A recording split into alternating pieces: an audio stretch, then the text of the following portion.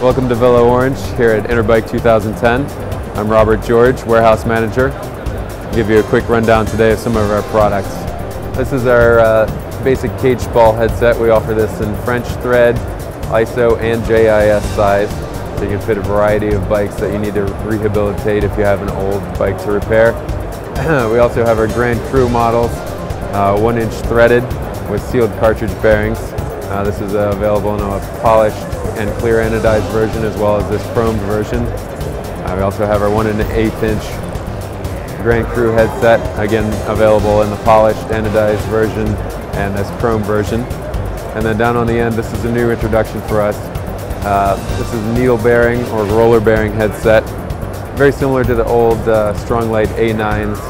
Um, very classic styling and with a pretty unique bearing. Unavailable with uh, anything else I know of right now.